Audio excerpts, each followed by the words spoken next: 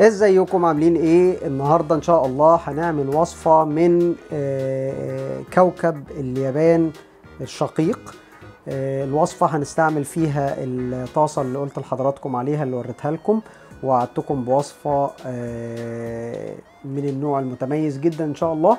خليكم معايا هنبتدي على طول نبص على المكونات ونجمع الوصفة بتاعتنا ونشوفها بتستوي إزاي. الوصفة بكل تفاصيلها آه، في منتهى منتهى الروعة والشكل النهائي بيبقى آه، حاجة كده فعلا من كوكب اليابان. خلونا نشوف كده نبتدي ونقول بسم الله ونبتدي سوا بإذن الله على طول. هنجيب بولة وهنجيب أربع بيضات.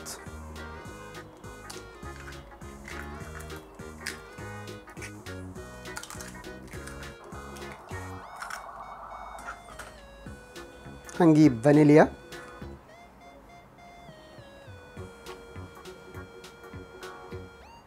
نحط شوية عشان الريحة بتاعت البيض. هنضرب.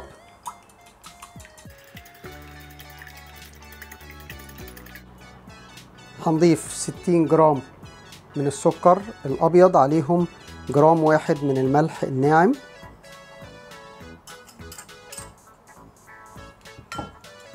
هنقلب. هنستمر في الخفق لمدة دقيقتين نطمن بس إن السكر داب مع البيض.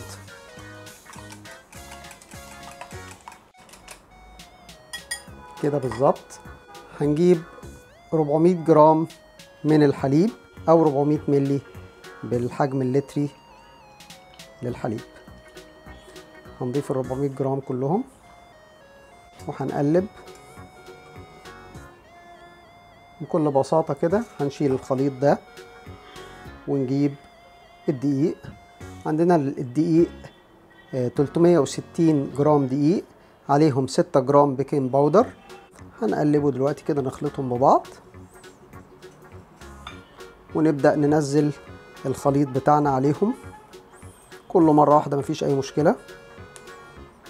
هنقلب شوية نخلط المكونات ونطمن إن كله تجانس ومفيش كتل دقيق في العجينة بتاعتنا.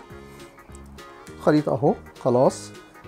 آخر حاجة هنحط 60 جرام من الزيت النباتي.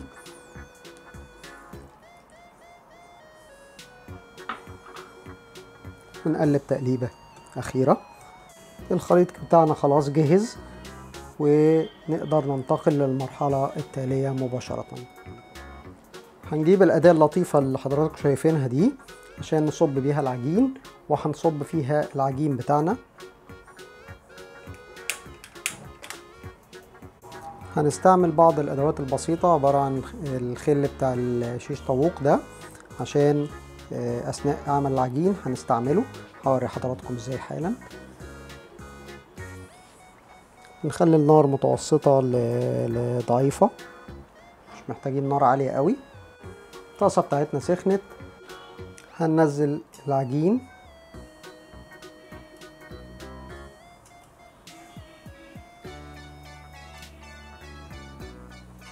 وهنجيب دي. ونحركها كده حركة دائرية. عشان نعمل حرف للعجينة بتاعتنا. لاحظوا معايا العجين بي بيروح ناحية الجناب كده ويملى الحرف اللي إحنا ما مليناهوش بالعجين من الأول. بصوا حضراتكم. أيوه.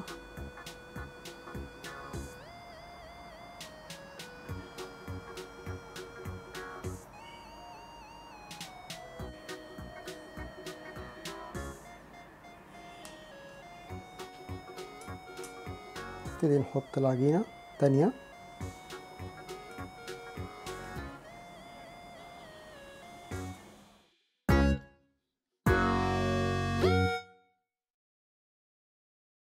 قالب من النوتيلا.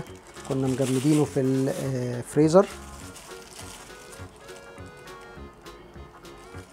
بنجيب خلة السنان دي ونعمل حركة دائرية كده عشان نطمئن إن العجين مفيش أي حاجة ملتصقة.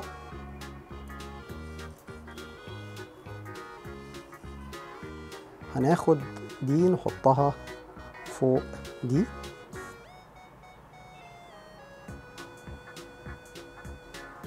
ودي نحطها فوق دي. ونسيبهم يكملوا سواهم براحتهم. ده شكلها وهي طالعة من على النار مباشرة للأكل. هنحط حشوة مختلفة كمان. دي حشوة عبارة عن بطاطا حمراء محطوط عليها بلو بيري مجفف. و كاجو وبعض المكسرات. هاجي هنا وأحط برضو كمية. بنحط ربع الارتفاع بالظبط تقريبا.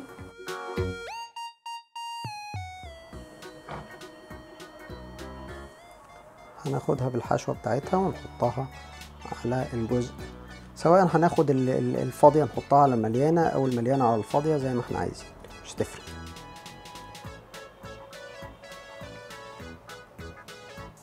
تبقى سخنة طبعا نتعامل معاها بحرص شوية.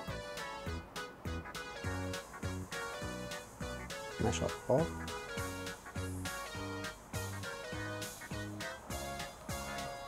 شايفين حضراتكم طالعين شكلهم عامل إزاي. بس يا سيدي وراح قايل له هي دي الوصفة بتاعتنا النهارده. هفتحها دلوقتي قدام حضراتكم ونشوف شكلها من جوه عامل إزاي سواء بالحشوة بتاعه النوتيلا أو الحشوة بتاعه البطاطا الحمراء. بسم الله الرحمن الرحيم.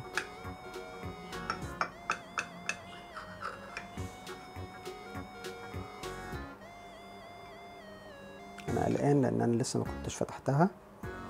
دي اللي بالبطاطا حشوة البطاطا مع البلو بيري والمكسرات. يا نهار أبيض يا نهار أبيض يا نهار أبيض يا جماعة. النوتيلا باظت من من فوق. باظت خالص. ما شاء الله ما شاء الله. إيه ده إيه ده إيه ده؟ أنا أول مرة أعملها بالنوتيلا فمتهيألي هتبقى تحفة يعني. ده شكل الوصفة بعد ما فتحناها هو كله على عينك يا تاجر. أتمنى الوصفة تكون عجبت حضراتكم وتكون فعلا مميزة زي ما عودناكم في القناة. إن شاء الله أشوفكم في وصفة جديدة وابتكار جديد على كيتشناوي. السلام عليكم.